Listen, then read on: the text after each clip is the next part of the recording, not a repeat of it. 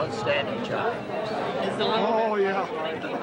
You're a quick uh, learner. We've already got a request for a copy tape from Jack Wright. Well, did you? And I said, well, I hope I'm taking something because I don't know. He's even got the cover. That's a good sign. Yes, that's Neal's specialty, leaving covers on camera. Is it?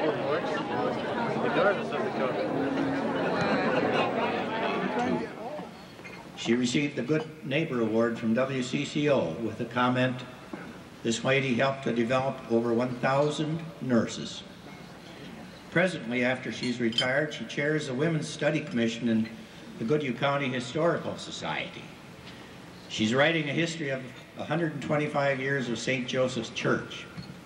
She's a board member and editor of the National Potters Collectors 12-page newspaper supplement.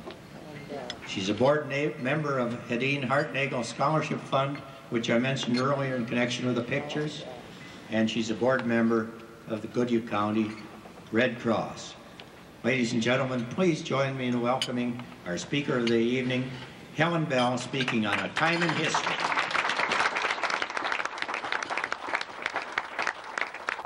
Thank you. Thank you, Neal. Uh, it's really marvelous to be here, but you scare the living daylights out of me.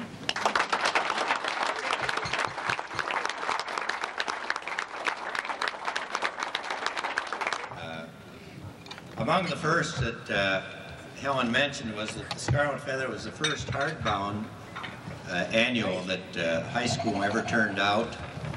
We made up a difference of uh, some 85 cents or $425 by showing the movies down at the theater. And also, one of the things about this class that uh, no one's mentioned is the fact that in Katie Yost's eighth grade class, we turned out a booklet that was printed. Does anyone have a copy of that? I'm sure that I do someplace at home. Do you remember that, John? That was the ink spots, that's correct. Yeah, I do remember the ink spot. Great. Two ink spots, sorry, two ink spots. Ted Hall printed one. Wonderful. He printed one of himself. A little bit, uh, a little while ago, uh, Norm Hollow stopped over at our table and uh, he was telling us how great the fishing was. And uh, he said that he was going to catch a lot more fish in the future. My wife asked him which lake and he didn't hear her. His hearing's turning bad. but it reminded me of the story I heard about Norm. He's really not that great a fisherman. Story is he went out uh, fishing with a game warden and they didn't catch anything for about three hours. Finally, Norm reached into his tackle box, took out a stick of dynamite and lit it and threw it in the water. He started gathering the fish, and the game warden was aghast to think that this would go on. So he started complaining to Norm. In fact, he started chewing him out. Finally, Norm got tired of that. He lit another stick of dynamite, handed it to the game warden, and said, are you going to talk or are you going to fish?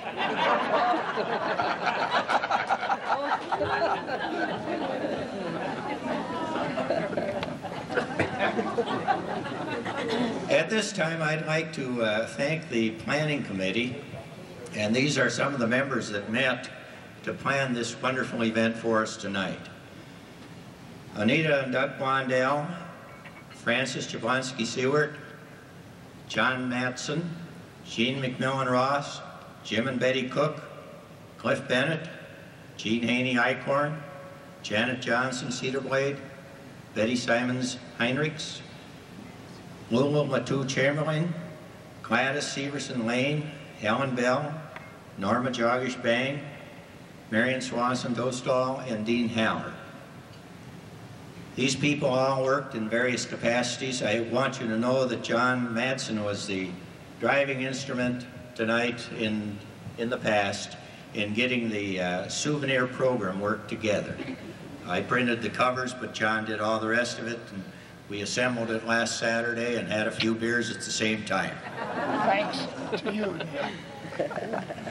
The only thing that we have left is that uh, there's one person from the 25th anniversary through today that has been very instrumental in bringing us together.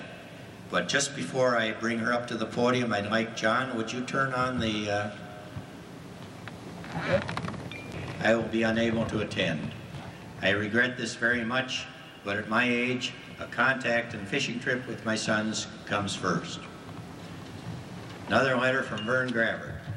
Dear Anita, have received your letters concerning the golden reunion of Red Wing class of 38. Due to other commitments during this period of time, we are unable to attend. For your information, I retired in 67 from the Air Force after 24 years, then retired again in 82 from federal service at Hoover Dam.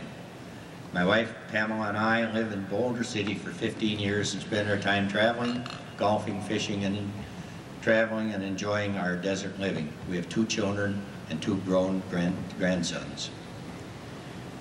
P.S. Change of plans. May be able to make it after all. I'm enclosing check for $58 for two generous chicken and beef. Will, God willing, see you on the 3rd. If not, we'll let you know. Vern had a relapse and was unable to join us. Now at this time, uh, there's one person, as I mentioned before, who's been the fabric that held together the class of 1938. She's the one who started out with the first 25-year reunion, then the 40th, the 45th, and now the 50th. So at this time, I'd like to have Anita Nordenskoll Wandell come up to the podium. Anita?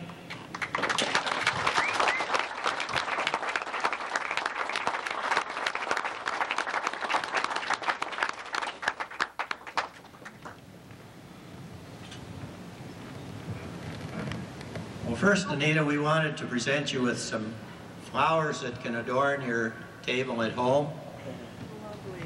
These were given to you by your collected friends here. We have a couple more gifts here, and if you'll set that down on the table.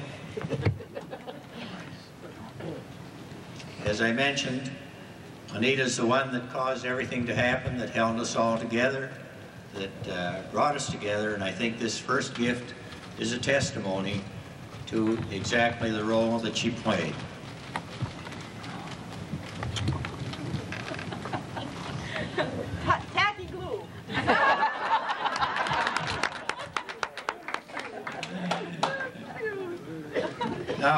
Final presentation, Anita, we have something that more clearly reflects what we mean in a serious vein. If you wish to open that, I'll read the inscription.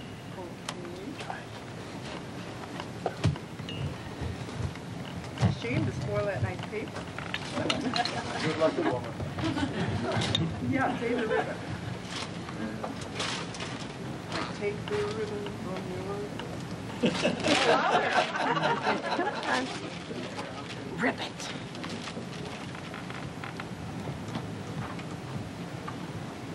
All my tricks, My niece and nephew say that I, they always knew when I gave them a present because they never could get it open.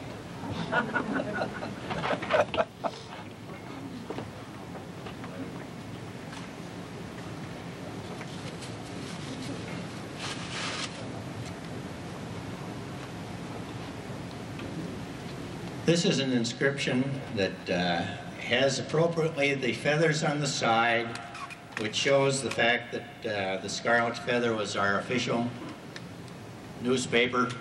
And here we have engraved, with deepest appreciation to Anita Blondell, your dedication and love made our class reunions a joyful reality. Red Wing Class of 1938.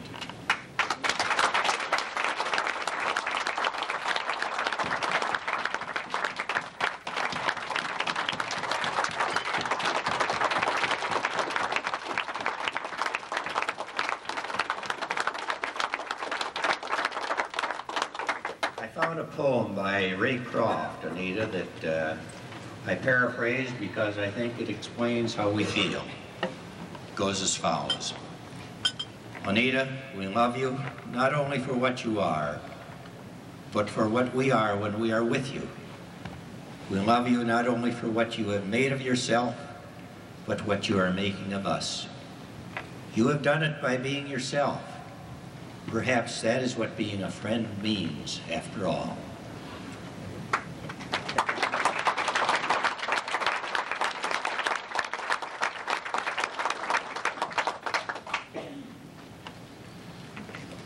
Make me cry.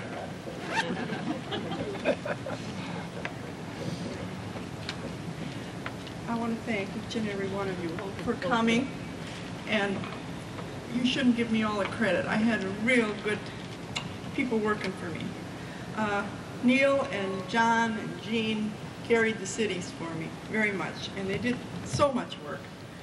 And Fran Seward carried Red Wing for me mostly, did a lot of telephone calls to save a little telephone bill, and it's just overwhelming what you think of it. Um, we're going to have some money left, but I have to say that this would be the last year that I would chair.